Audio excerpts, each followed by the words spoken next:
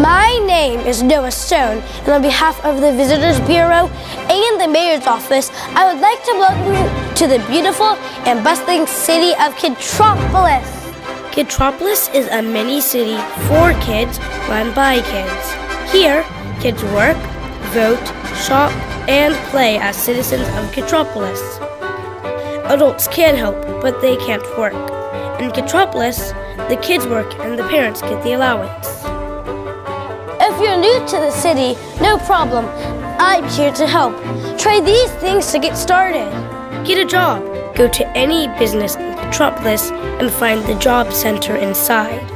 Read the job description and select a job. Put on your uniform and name tag and get to work. When you have completed the job, return your uniform to the job center and pick up one paycheck. Each paycheck in Kidtropolis is worth $20, but you may only take one per shift. Deposit the paycheck onto your kid card at an ATM or bring it to the bank to exchange it for cash. Once you have earned some money by working in Kidtropolis, you can either decide to save it in your ATM account or to spend it. To withdraw or take money out of your account, visit one of the five ATMs along Perry Family Way.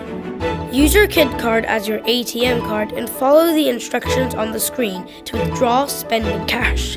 Go shopping for fresh and healthy items at the market Get in touch with your creative side at the Art Academy, or enjoy eating at the diner.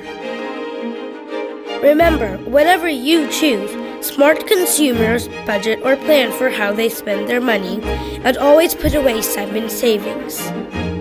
Finally, in Kidtropolis, we encourage every citizen to vote or participate in city council. Watch the debates and vote whether to pass or veto a new law.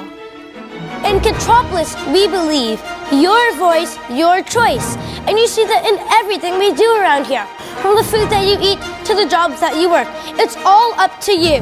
So let me be the first one to welcome you to Kidtropolis.